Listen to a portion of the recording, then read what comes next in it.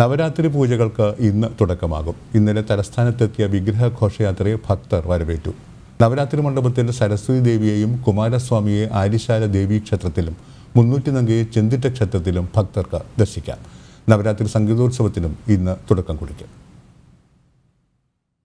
ഒമ്പത് നാൾ നീണ്ടു നിൽക്കുന്ന നവരാത്രി പൂജകൾക്ക് ഇന്ന് തുടക്കം. കോട്ടയ്ക്കകത്തെ സരസ്വതി മണ്ഡപത്തിലും ആരിശാലയിലും ചെന്തിട്ടയിലും ഇന്നു മുതൽ ഭക്തർക്ക് കൊറോണ മാനദണ്ഡങ്ങൾ പാലിച്ച് സരസ്വതി ദേവിയെയും കുമാരസ്വാമിയെയും മുന്നൂറ്റി നങ്കിയെയും ദർശിക്കാം. ഇത്തവണ പൂജവെപ്പിന്റെ ഏഴാം ദിവസമാണ് ദുർഗാഷ്ടമി. അന്ന് പൂജ വെച്ചാൽ തുടർന്നുള്ള രണ്ട് ദിവസങ്ങൾ മഹാനവമിയാണ്. ഇരുപത്തിയാറിന് പൂജയെടുപ്പും വിദ്യാരംഭവും നടക്കും. നവരാത്രി മണ്ഡപത്തിൽ ഇരുപത്തിയാറിന് രാവിലെ എട്ട് മുപ്പതിന് നിശ്ചിത എണ്ണം കുട്ടികൾക്ക് വിദ്യാരംഭം നടത്താനാണ് അനുമതി. രാവിലെ എട്ടര മുതൽ പതിനൊന്ന് വരെയും വൈകിട്ട് മൂന്ന് മുതൽ അഞ്ചര വരെയുമാണ് ദർശന സമയം. ദർശനത്തിനുള്ള പ്രവേശനവും നിയന്ത്രിക്കും. ശ്രീപത്മനാഭസ്വാമി ക്ഷേത്രത്തിൽ പ്രവേശനത്തിനുള്ള വസ്ത്രധാരണ രീതി നവരാത്രി മണ്ഡപത്തിലും ബാധകമായിരിക്കും. വൈകിട്ട് പൂജപ്പുര മണ്ഡപത്തിലേക്ക് കുമാരസ്വാമി എഴുന്നള്ളിച്ച് പള്ളിവേട്ട നടത്തും. ഇരുപത്തിയേഴിന് വിഗ്രഹങ്ങൾക്ക് നല്ലിരുപ്പാണ്. ഇരുപത്തിയെട്ടിന് രാവിലെ പത്മനാഭപുരത്തേക്ക് മടക്കയാത്ര. മുപ്പതിന് വൈകിട്ട് വിഗ്രഹങ്ങൾ മാതൃക്ഷേത്രങ്ങളിലെത്തും.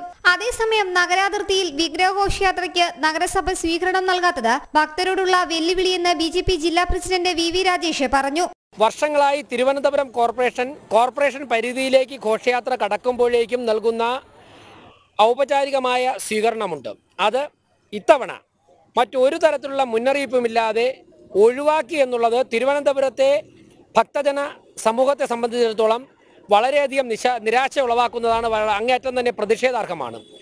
സാധാരണ കോർപ്പറേഷൻ പരിധിയിലേക്ക് ഘോഷയാത്ര കടക്കുമ്പോൾ അതിർത്തിയിലുള്ള വാർഡ് കൗൺസിലറുടെ നേതൃത്വത്തിൽ എല്ലാ ഒരുക്കങ്ങളും നടത്തി ഘോഷയാത്രയ്ക്ക് സ്വീകരണം നൽകുക എന്നുള്ളത് പതിവായിരുന്നു. ഇത്തവണ അങ്ങോട്ട് അന്വേഷിച്ചപ്പോൾ പോലും കോർപ്പറേഷൻ അധികൃതർ യാതൊരു തരത്തിൽ അറിയിപ്പ് നൽകിയില്ല എന്ന് മാത്രമല്ല ഒരു ചർച്ചയും കൂടാതെ പതിറ്റാണ്ടുകളായി നിലനിൽക്കുന്ന ആചാരം ഏകപക്ഷീയമായി തിരുവനന്തപുരം കോർപ്പറേഷൻ ഒഴിവാക്കിയിരിക്കുകയാണ്.